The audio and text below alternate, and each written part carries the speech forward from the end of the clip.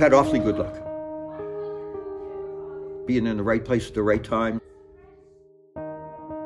I, I went to Europe because I heard they were casting a movement theater company, and I had a, contract, uh, yes, a contract to perform at Harvard University. That was important to me. So I said to the people involved in Europe, I will come the day after my performances at Harvard University are over. And when I got there, the director of the company said, uh, I'm sorry, I've, I've taken the last man that I'm going to take. Uh, I don't have any more room to take anyone else. And I was sad. I looked around at the company for a while and I said to her one day, You don't have a stage manager. And she said, Oh, yeah. I said, I have stage management experience and I could create props and, and run your sound and things like that. And she said, Well, if you do that, I'll give you your classes for free. And I said, Deal. The second night of a three week engagement, an actor fell off a motorcycle going home, broke his shoulder. And she said, Mark, can you do his parts? And I said, Yeah, I know them. Have to brush them up, you know, have to polish them up. But uh, that's sort of how I backed into a role with a Paris theater company.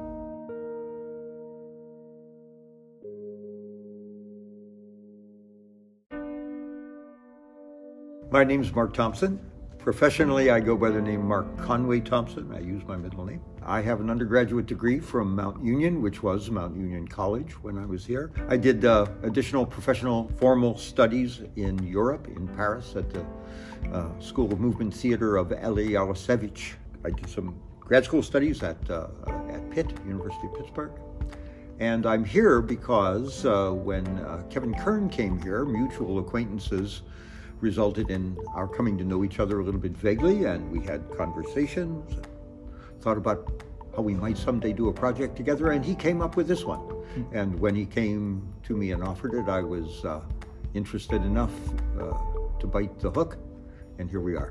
Gentle breath of yours, my sails must fill. I think I'm in the best possible category of being an actor. You know, they say if, if you can do anything else in this life besides professional acting, go do it because professional acting will break your heart.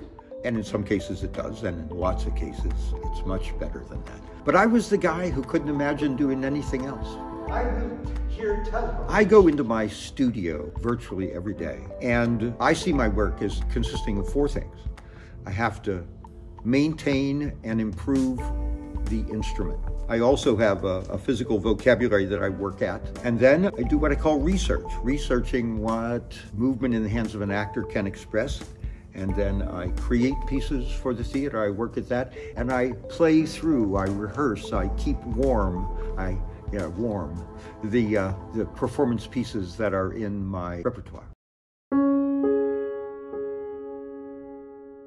I think that when two beings enter into sincere relationship, the work of the Spirit is being done.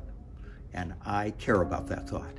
And when actors are on stage in the best of circumstances, and I in the skin of a character I'm playing, and you in the skin of a character that you're playing, look at one another and sincerely want something in a very pretend context that we treat deadly seriously, I contend that there is something that goes back and forth that doesn't happen on film, Film freezes everything in time and space, and this is alive right in right in front of you, the spectator.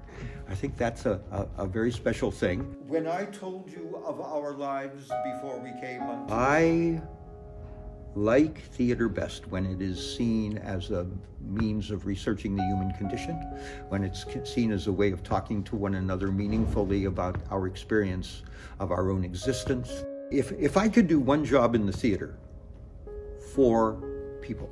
Mm-hmm. I think it would be this. I think it would be to, to shed some kind of light on the idea that what we want from life is not to be found where society is telling us to look for it. Life has no meaning other than its own fullness.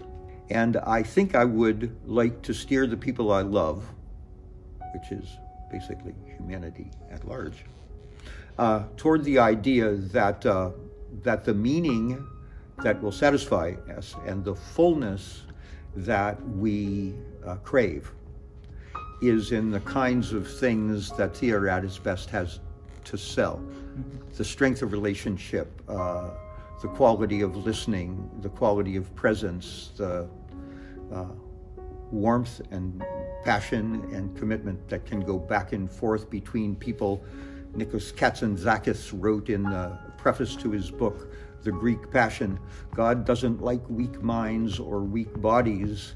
He coaxes us to be strong in the struggle at the physical level and at the uh, moral level, at the emotional level. I think I would like to consecrate my efforts to reinforcing that thought, that, that message.